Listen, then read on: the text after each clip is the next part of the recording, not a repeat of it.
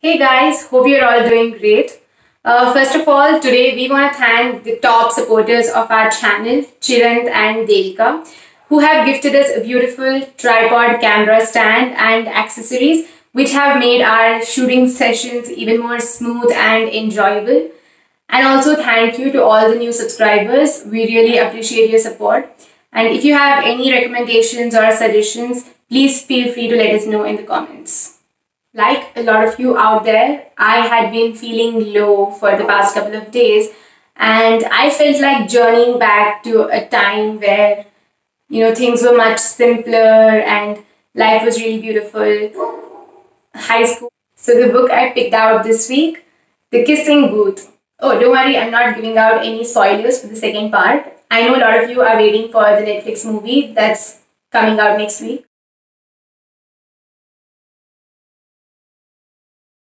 Uh, so the author of this book, Beth Reekles, started publishing this book when she was in high school on Wattpad, and uh, it became so popular that she then developed it into a full-length novel and published it, and now a series of books have come up.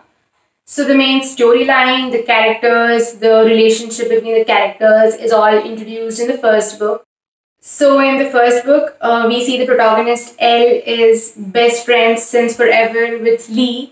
Uh, they go to the same high school and also their families are also really close. And since Elle has lost her mother, Lee's mother is also like a motherly figure to her. So everything is nice and happy until Elle falls in love with her best friend, Lee's brother, Noah.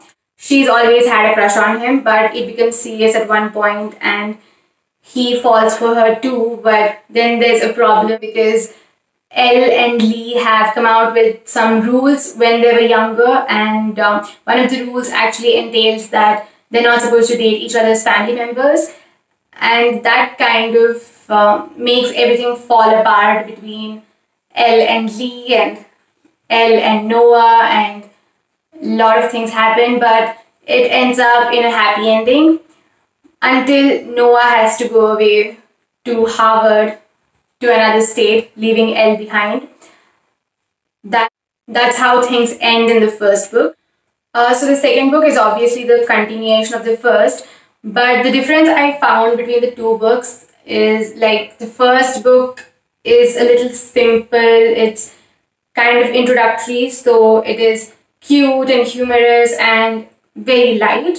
But a lot of things are actually explained in the second book, like why Lee is so offended with Elle dating her brother. Noah. Uh, apparently, there are some underrooted issues between the Flynn brothers, Lee and Noah, which we discover in the second book. The second book mostly addresses the challenges in a long distance relationship. Reading this book made me realize there was a time uh, before technology and social media when uh, two drifted apart. Souls actually wrote letters to each other and how there arose complications and that distance due to um, due to lack of communication. But today that's not an issue anymore. There's a lot of advancement in technology and social media. Uh, so there is no lack of communication anymore. Yet there are challenges happening in long distance relationship and I think that is because of miscommunication. Due to the extent of today's di digital media, many long distance partners are literally stalking each other all the time, wanting to know where he or she is, who she or he is with, and this frequently happens that before you hear from your partner, there are a lot of other people talking about your partner that uh, there he was or there she was, and that's who he or she was with. So that leads to a lot of trust issues and that huge bridge between the two partners that we can see in the second book and how they overcome that or if they overcome that.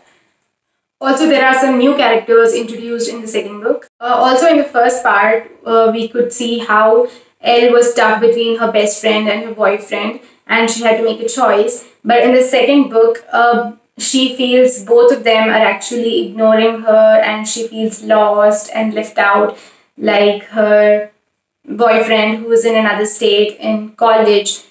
Uh, she feels he's avoiding her and he's there's a separate life going on with him. And also her best friend lee is planning to go to a college with his girlfriend uh, ditching their plan of going to college together uh, during the end of second book especially things got really interesting and at one point i was like wait what?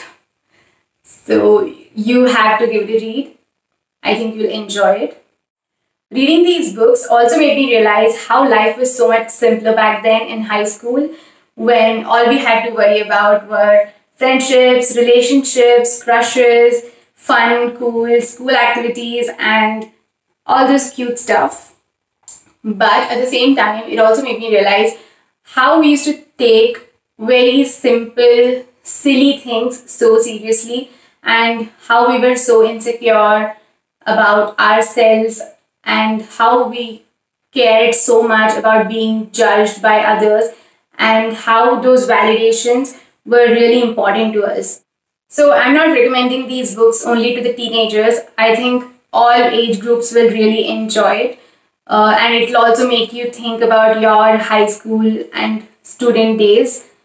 Also, to make things more interesting, comment below what were your biggest joys and pet peeves back in high school. Hope you enjoyed this video. For more such videos, like, share and subscribe to our channel. Have a nice day. Bye-bye.